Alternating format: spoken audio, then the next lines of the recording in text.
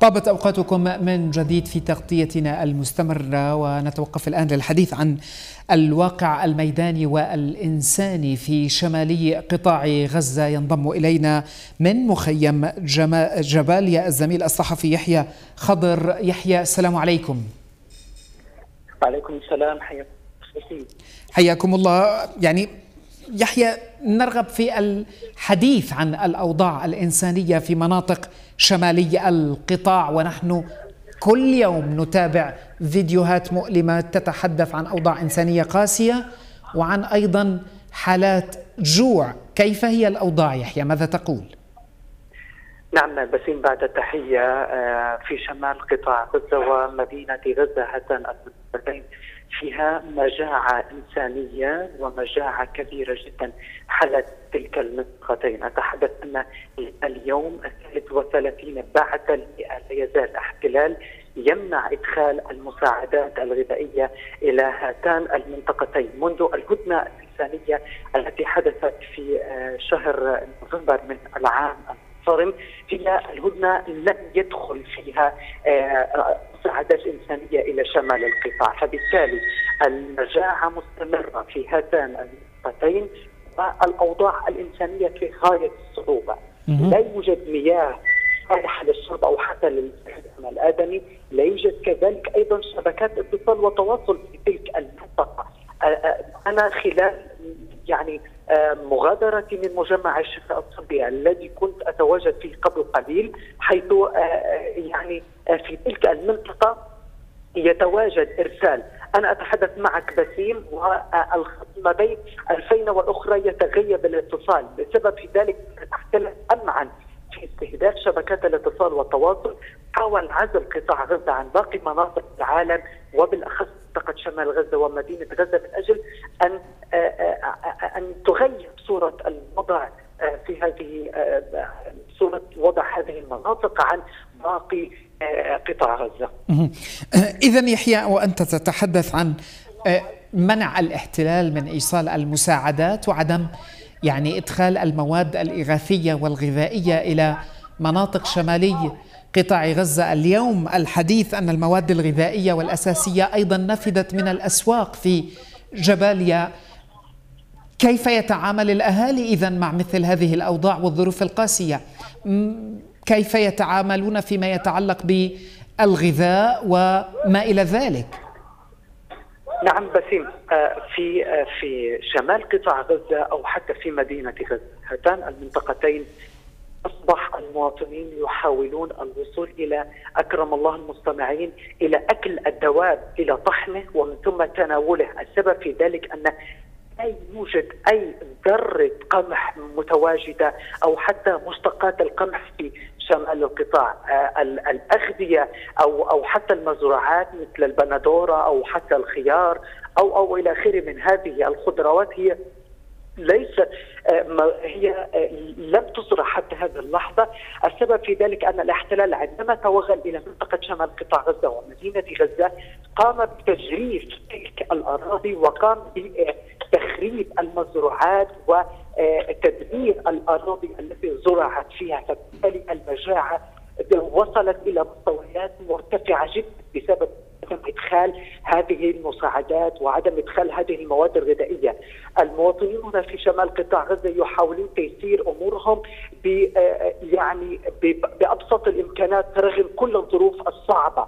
في شمال القطاع لا يتوافر مياه أو حتى في مدينة غزة لا تتوافر مياه، لا يتوافر دقيق، الوضع في غاية الصعوبة وفي غاية المأساوية، السبب في ذلك أن الاحتلال أمعن في تجديد الحصار على منطقتي شمال قطاع غزة وامعانه أيضا بإيجاد مجاعة في هذه المناطق وبالفعل وجد الاحتلال هذه المجاعة وجعل ظروف الغزيين في شمال القطاع ومدينة غزة في غاية الصعوبة وأكثر مأساوية مما كانت عليه في الأيام القليلة الماضية، لا يوجد مصادر غذائية متجددة، العدد كبير والطلب كبير في المقابل أن السلعة قليلة وصعب توفرها في هذه المنطقة. فبالتالي الأسعار مرتفعة.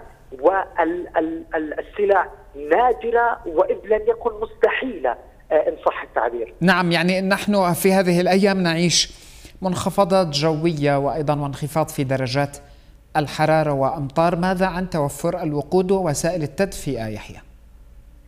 وسائل التدفئة في هذه في تلك المنطقتين بسيم وهي توليع الحطب ولم يستطيع الجميع هنا في شمال قطاع غزة ومدينة غزة إيجاد وسيلة الحطب، السبب في ذلك أن انقطاع التيار الكهربائي عن آه، قطاع غزة بأكمله وبالتحديد أيضا مدينة غزة وشمال قطاع غزة.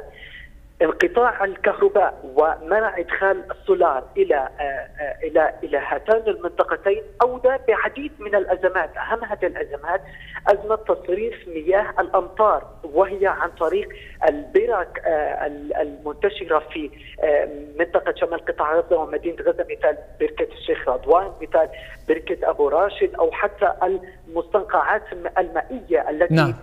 هي مخصصة لتصريف تلك المياه، هي متوقفة تماما، السبب في ذلك استهداف البنية التحتية، عدم إدخال السولار وكذلك أيضا استهداف الطواقم العاملة لهذه طواقم البلدية العاملة آه، لمحاولة حل الازمات، فبالتالي هذه هي أزمة آه، مصدرة للأزمة الكبرى وهي آه، أن أن تقوم هذه المياه بالاطفاء على المواطنين وإغراق الشوارع بالمياه وإلى منسوبات عالية. فبالتالي هي تشكل نقطة خطر لأوبئة وأمراض منتشرة في مناطق التي يتواجد فيها النازحين داخل مراكز الإيواء كانت المراكز التابعة للأونروا التي لم تعد هي محمية. رأينا الاحتلال ماذا فعل باستهداف هذه المراكز آه، في مركز الصناعة آه، الإقليمي مركز غزة الإقليمي التابع للأونروا. وعليه شعار الأمم المتحدة ظاهر عليها الاحتلال لم يميز هذه المراكز قام باستهدافها. قام بإحداث أضرار كبيرة منها وقام ب يعني قطع كامل السبل التي تؤدي إلى الحياة، فبالتالي أيضا هناك خيام للنازحين في تلك المدارس. هذه مياه الأمطار تتساقط على خيام النازحين التي لا تقيهم حر الصيف ولا برد الشتاء. فبالتالي انخفاض درجات الحرارة وتساقط الأمطار. هي ظروف صعبة تشكل ظروف إنسانية صعبة وتعيق حياة الغزيين أكثر مما نتصور خلال هذه الأزمات. نعم، يحيى نحن نعلم يعني أنه لا مكان آمن اليوم في قطاع غزة وانه القطاع يتعرض بكافة مناطقه إلى غارات واستهدافات من طائرات ومدفعية الاحتلال الإسرائيلي إذا ما سألتك عن مستجدات الواقع الميداني في شمالي القطاع وإذا ما كان هناك أي غارات إسرائيلية. بسيم في كل لحظة يحدث تطور ميداني إذ لم يكن ذلك التطور في شمال القطاع يكون بمدينة غزة أو حتى بجنوب القطاع. كوننا نتحدث عن شمال القطاع وأنا متواجد من شمال القطاع. شمال القطاع تعرض لعدد من الاستهدافات منذ صبيحة هذا اليوم. حدث هناك استهداف في منطقة أبو قمر في شمال قطاع غزة. راح ضحية هذا الاستهداف ارتقى شهيد وإصابتين من المرة. أيضا في في توقيت الساعة الثالثة أيضا حدث هناك انفجار في منطقة بير النعجة وهي منطقة غربية وانسحب منها الاحتلال خلال الأيام الماضية. وقع فيها انفجار.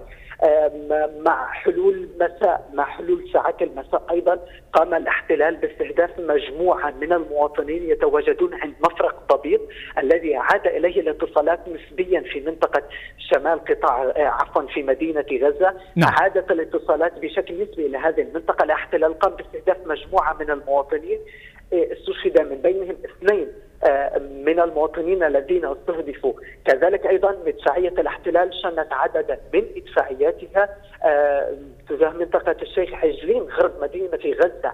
آه، بخلاف ذلك استمرار تحليق الطائرات الاستطلاع على ارتفاعات منخفضة جدا في تلك المنطقتين منطقة شمال القطاع ومنطقة مدينة غزة. منطقة مدينة غزة بالتالي لاحظنا الطائرات الاستطلاع الاطلاع وكذلك أيضا الطائرات الحربية التي كانت تشن غاراتها وتحلق في سماء المنطقتين ما بين الفينة والأخرى كانت تشاهد وكان صوت جدا مرتفع في هذه اللح... في تلك اللحظات التي خرجت فيها. كان الله في عونكم زميل يحيى خضر وأتمنى لك ولجميع الزملاء الصحفيين في قطاع غزة السلامة، شكرا جزيلا الزميل الصحفي يحيى خضر كنت معنا من مخيم جباليا متحدثا عن الواقع الميداني والظروف الإنسانية في مناطق شمالي القطاع.